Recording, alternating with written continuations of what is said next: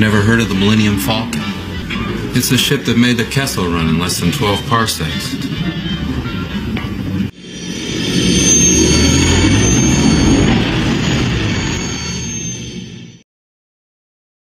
We would be honored if you would join us. Hey Star Wars fans and action figure collectors, just a little bit of a different video for today. It's a little bit of, it's about a month late. I wanted to do this back at the start of July. Um, I wanted to do my top five vintage collection figures so far for 2024.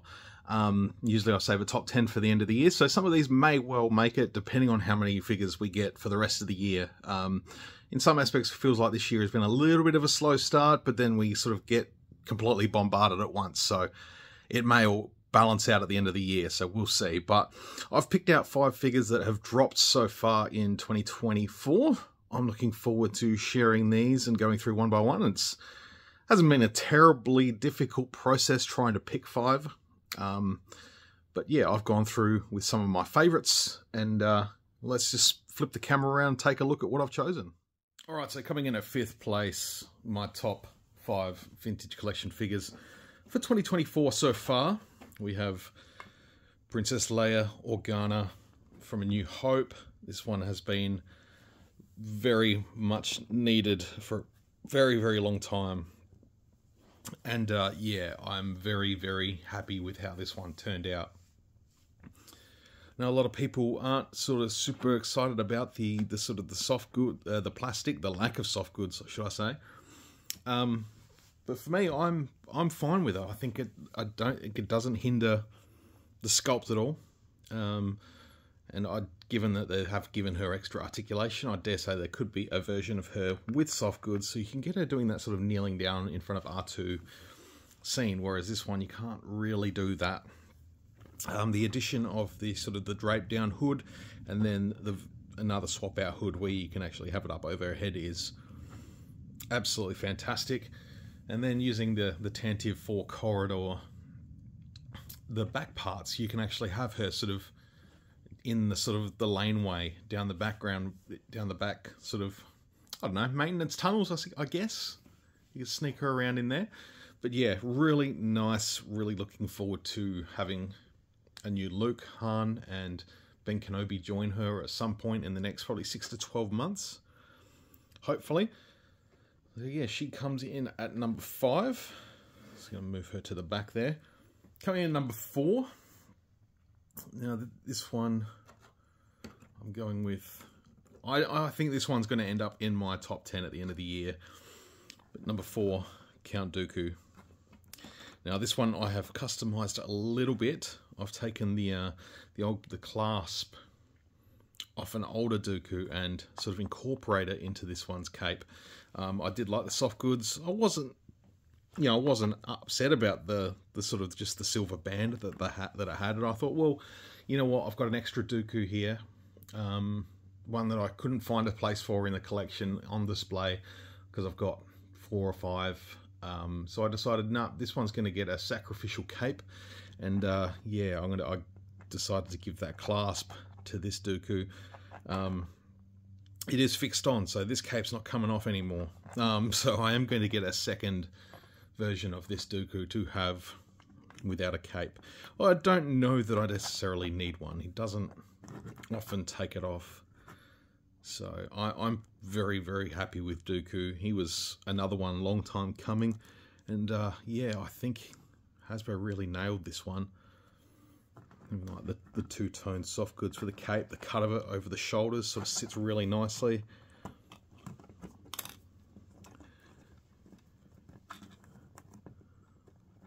Very nice. I have him currently dueling with Anakin on my Revenge of the Sith shelf. That is one little thing I've just come across is it's the lightsaber is a little bit loose in the hand, but uh, not terrible at all. So there is number four, Count Dooku. Let's move him to the back as well. Now coming in at number three, this one, yeah. I don't see many of these not coming into my top 10 at the end of the year, but again, we'll see. Technically deluxe, but Garazeb Orrelios, you know, I'm not going against the deluxe, sort of the quote unquote deluxe figures. They are part of the vintage collection, so I'm going to include them. Um, yeah, Zeb. Oh, this one is an absolute cracker. Yeah, big, big time, you know, favorite. It's hard to go, it was hard to find two figures to top this one, honestly. Um, I have done it, obviously, because this is one that's coming in at third. Um, but yeah, I'm looking forward to the other version of Zeb that's going to come with the Ghost. And at this point, I think I've decided I will be opening all those figures uh, that do come with the Ghost. Uh, just I have no idea where I'm going to put the damn thing. so I may not be opening them straight away until I found a nice little home or a table or something for the Ghost. Um, I do have a little coffee table here in my room, and that might get swapped out for something, you know, that will house the Ghost a little bit, a little bit better. Then I can open it up and display it with all the characters, and have a nice little Rebels shelf. So yeah, Zeb is absolutely fantastic. Big time fan of this figure.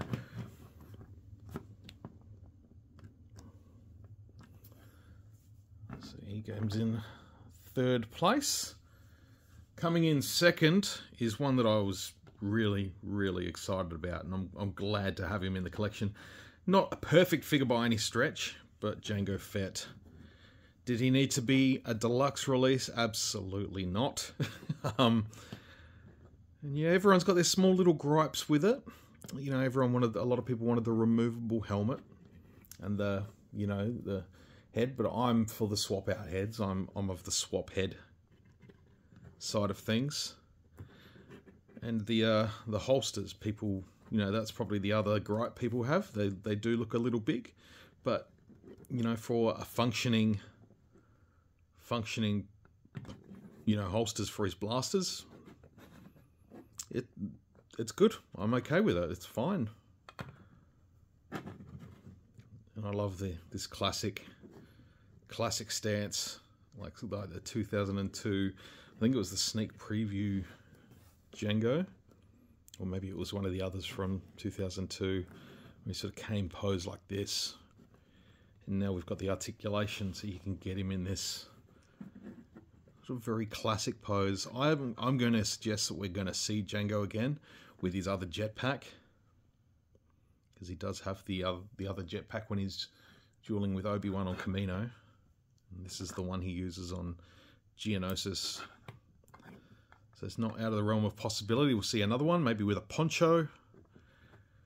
You know, maybe not completely armored up, maybe just in his civilian gear, who knows.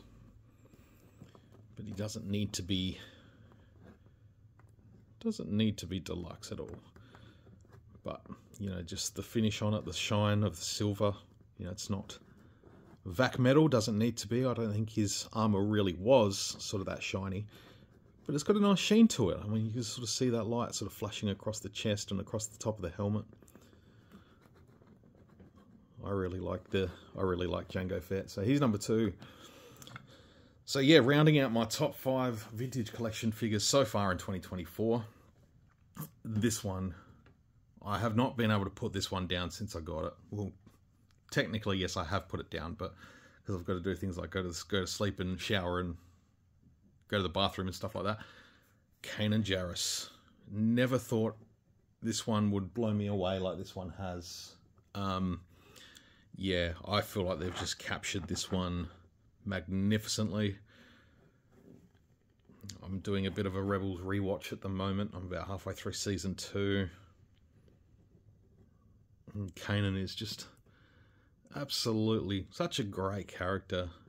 And just the look of this guy, I still remember back, you know, 2014 when Rebels first hit. We started getting all those teasers. We got a little bit of a tease for the, the, the Cowboy Jedi. He certainly felt that way early on.